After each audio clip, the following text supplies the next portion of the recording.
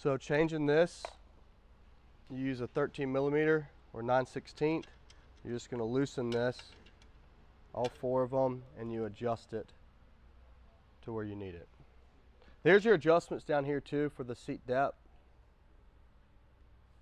Seat depth can with the same thing. You can change the seat depth to uh, I think a 20 something. Look at the specs, but you can change that right there.